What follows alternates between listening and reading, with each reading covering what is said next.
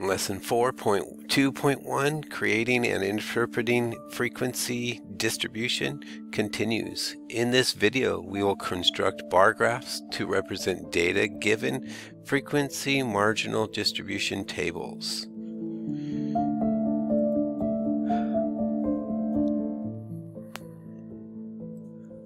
On which side does a tiger have the most stripes? The outside. Alright, this time we're going to make a bar graph um, for the favorite colors, the favorite sport, the favorite whatever it is that's the favorite. Okay, so again, we're going to click uh, on B13 and we're going to click on the box that says insert chart. It's the box with three lines in it. And again, it gives us this um, frequency or this stacked column chart. We want to turn it back into a bar chart. Notice when I turned it back into a bar chart, it already is labeled almost in the way we're looking for it. Right? We've got blue, green, purple, red. So now it's by our favorite colors. And here's our legend. It's A and B. Um, the only thing we need to do is customize the rest of the information. So we're going to click on Customize. We're going to click again on Charts and Axis and Titles. It gives us vertical axis, so title, so we're going to change this to number of student responses.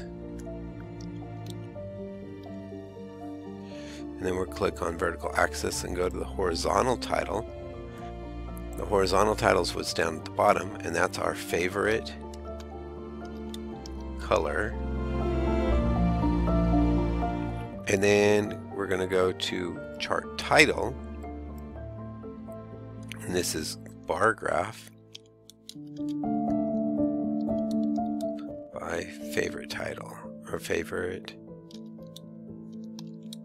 color.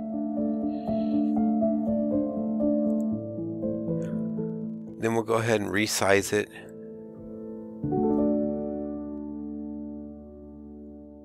So that it fits in our little box here. And then, again, if you don't like the colors, you can change the color scheme altogether. Uh, let's go with light blue and let's go with pink so now it doesn't look like the other one. The importance of each graph.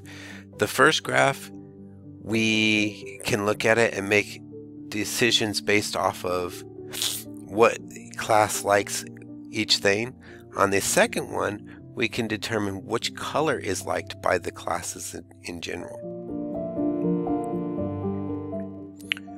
So I, what I'd like you to do is go to favorite sports to watch, the tab at the bottom, and I would like you to make the bar graph by sport, favorite sport, for this one. Go ahead and do that now.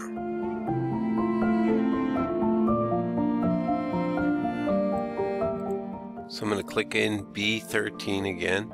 I'm going to click on that box with the three lines in it. Again, it pulls up that stacked bar chart, so I'm going to tell it none. Now I got my three categories at the bottom, so I just need to customize the chart title. And this is bar chart or bar graph by favorite sport. Go to horizontal asset axis and label this favorite sport to watch on TV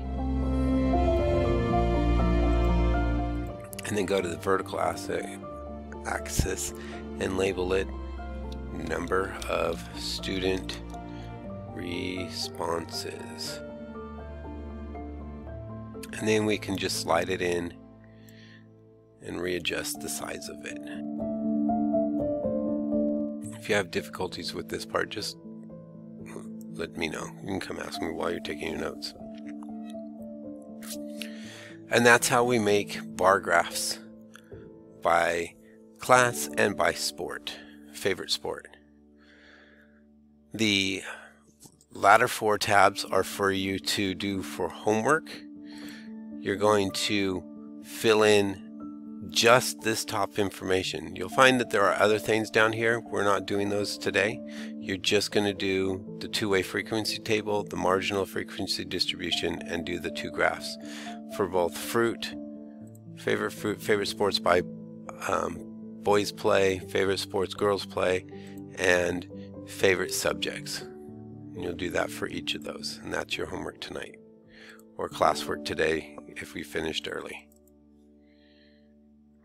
With that, your notes are finished.